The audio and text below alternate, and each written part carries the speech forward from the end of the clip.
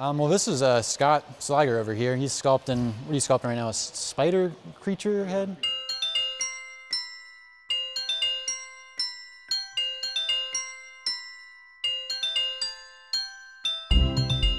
We're in East Columbus. Um, this is going to be the site of Otherworld. Uh, it's a 32 and some change thousand square foot interactive art installation that we're building.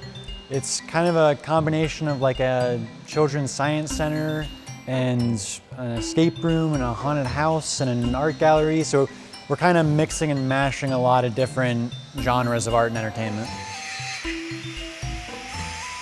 We're hoping that it can appeal to people of all ages and backgrounds.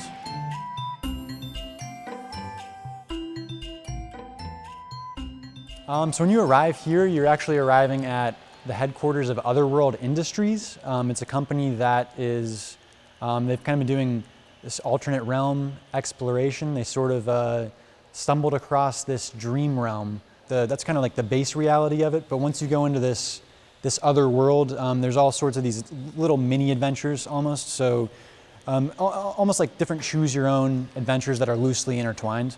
So when a visitor walks in, uh, our goal is for you to be completely overwhelmed. We really want you to not be able to predict what's around every corner. It's almost like a page turn of like a graphic novel or a book where you turn that corner and just get like the moment. That's our goal. Uh, this is the church. So what you're kind of seeing is the reaction of our sodium light. What this does is it takes the color spectrum out of the room.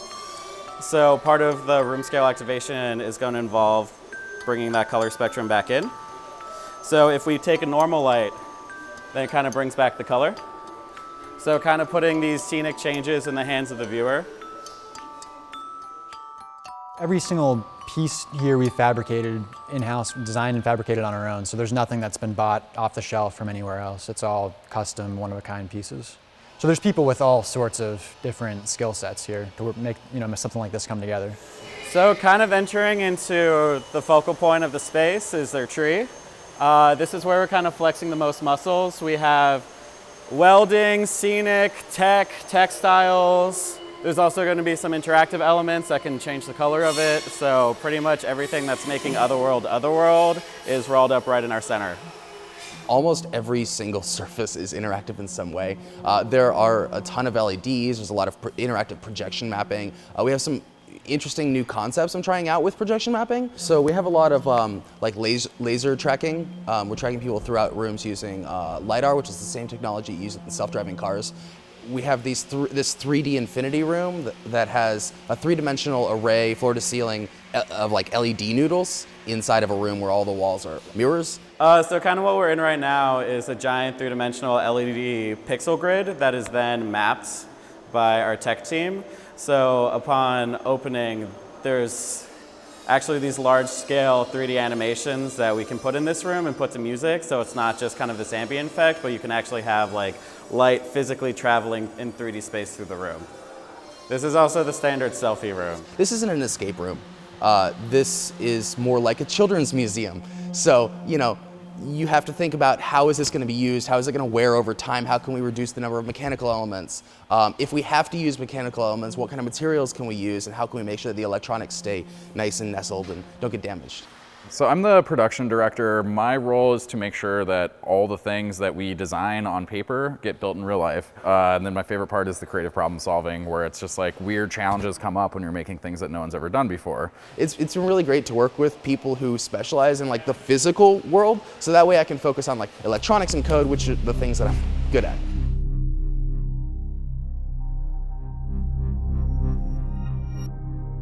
Another thing is we have this interactive harp, um, this spiderweb harp device that we're figuring out how to rig up into the air 12 feet up. So you can still pluck it and there's not too much vibration going on the sensor that it keeps tripping, but there's enough vibration that it trips the sensor and then kind of creates the harp effect. So this is the seamstress room. This is another one of our mini narratives within the space. Without revealing too much, there's this seamstress character who has a bunch of spider children and is creating uh, these kind of fluffy animals to feed to the spiders. Or is she? We'll find out. So all of this webbing was hand webbed, hand glued. Uh, all the spiders were welded together custom and then upholstered. So when it's fully operational, when you pluck the colored threads, uh, you get a room activation where it actually becomes a giant harp. I think this project has been able to bring together a lot of creatives and has given them the opportunity to speak up and have their ideas be heard and have them communicate and challenge each other. And I think we're showing a production model here where kind of everyone gets to play to their fullest. And I'm just hoping that later that we can set an example for that in more creative spaces around the city. Oh, just come check it out. It's gonna be sweet. This is what I want to do forever. So. I mean, yeah, there's nothing else like it anywhere.